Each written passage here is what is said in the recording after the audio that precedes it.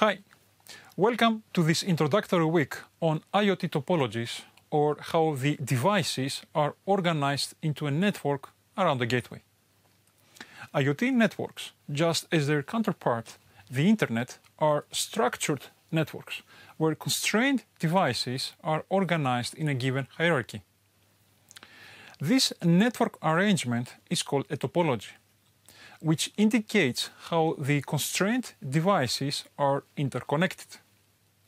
More specifically, IoT networks consist of sensors and actuators that operate in a given field.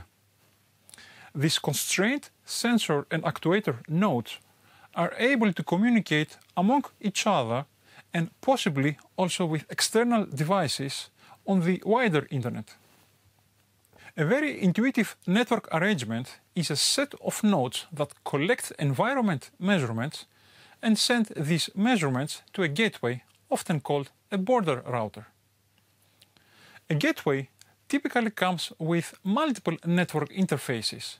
The wireless interface to communicate within the low power wireless network and a wired interface to connect the low power wireless network to either a local computer or to the outside world, the internet.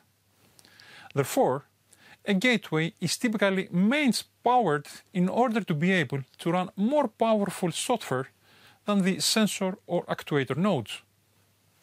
The following are the most popular network topologies that can be formed to enable the nodes to connect to the gateway.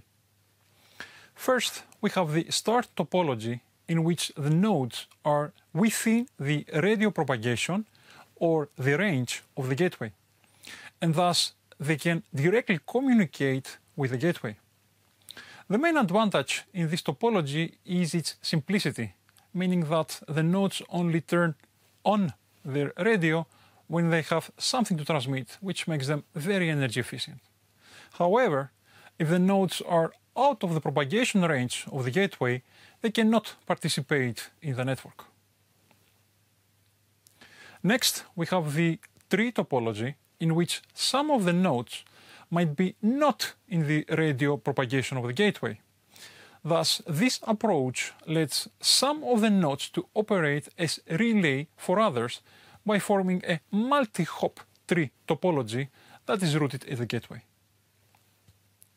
Even though the multi-hop tree topology overcomes the issue of a star topology, if one of the relaying nodes crashes or the link quality drops, all of its descendants in the network became uh, disconnected. Finally, we have the mesh topology. It is an extension of the tree topology to which one has added redundant paths. Each node in the network has at least two neighbors to transmit the data packet to. As a result, the mesh topology overcomes the limitations of the tree topology and even if some of the nodes go off, it will neither impact the multi-hop network nor the traffic flow. Mesh-based topologies are the most suitable and popular among IoT-based applications. Therefore, both from academic institutions as well as from the industrial companies, a lot of focus has been put on efficiently designing low-power wireless mesh network while guaranteeing the envisioned trade-off level among the four following elements. The network capacity, the end-to-end network latency, the end-to-end network reliability, and the energy consumption. For instance, a typical trade-off scenario for industrial applications is to target high network reliability and bounded latency at the cost of network capacity and energy consumption.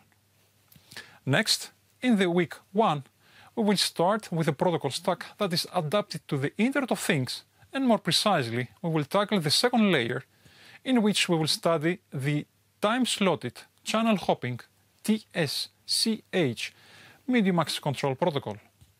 Now, are you ready? Let's start.